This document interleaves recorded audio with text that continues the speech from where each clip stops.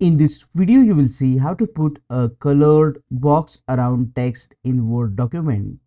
There are two quick easy methods to add a box around the text, a colored box. In the first method, what you can do is just select the text and after selecting the text to put a colored box around it, you need to go here under the home tab, you will see the option of highlighter Click on this text highlight color option to get colored background first to the text. And if you want to change the color you can click on this arrow button and you can select the colors of your choice. However note that here there are limited colors and i will show you in method 2 how you can get more colors. So after selecting the appropriate color and selecting the text, just click on this A button, which is a character border option. After clicking on it, you will get the colored box around the text. Now, because we have limited colors available here for the first method, we will use the second method.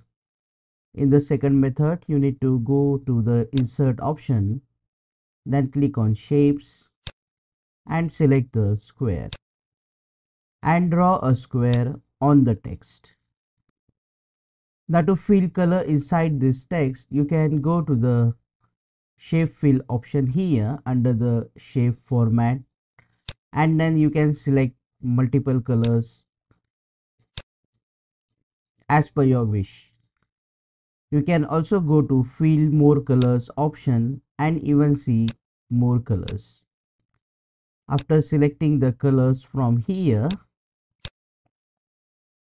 you can also explore the gradient. For example if you want a shading like this you can also select that. And you can also use the texture if you want to like this. So let's select one gradient. Select the faint color.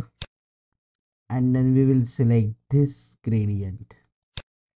Now to bring text inside this box you just have to click on the box. Right click and click on send to back and click on send behind text.